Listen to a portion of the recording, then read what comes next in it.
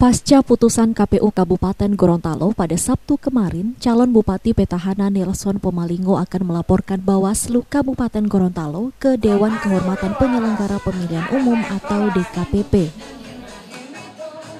Laporan itu akan dilayangkan ke DKPP karena pasangan calon Bupati Nelson Pomalingo dan Hendra Hemeto merasa dirugikan atas rekomendasi yang dikeluarkan oleh Bawaslu Kabupaten Gorontalo. Selain Bawaslu, salah seorang warga yang melaporkan Nelson Pomalingo ke Bawaslu juga akan dilaporkan ke aparat kepolisian.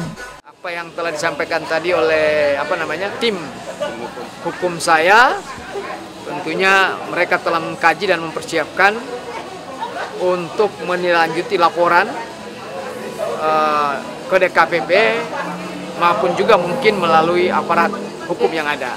Karena terus terang saja saya dengan Pak Hendra dirugikan dengan adanya keputusan kemarin.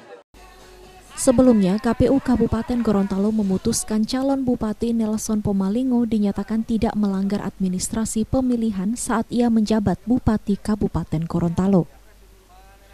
Putusan itu dikeluarkan oleh KPU untuk menindaklanjuti rekomendasi Bawaslu setempat yang meminta KPU untuk membatalkan Nelson Pomalingo sebagai calon Bupati Gorontalo. Mamat Kaida, Kompas TV, Gorontalo.